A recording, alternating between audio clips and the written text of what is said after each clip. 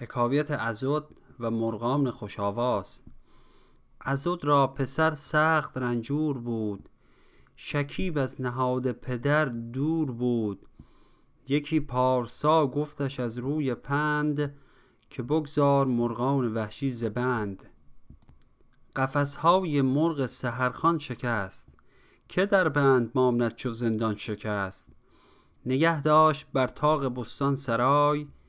یکی نامور بلبل خوش سرای پسر صبحدم سوی بستان شتافت جز آن مرغ بر طاق ایوان نیافت. بخندید کای بلبل خوش نفس تو از گفت خود مانده ای در قفس. ندارد کسی با تو ناگفته کار ولیکن چو گفتی دلیلش بیار. چو سعدی که چندی زبان بسته بود ز طعن زبان آوران رسته بود.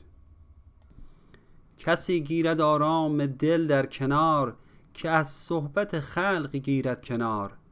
مکن عیب خلق ای خردمند فاش. به عیب خود از خلق مشغول باش. چو باطل سرایند مگمار گوش. چو بی ستر بینی بصیرت بپوش.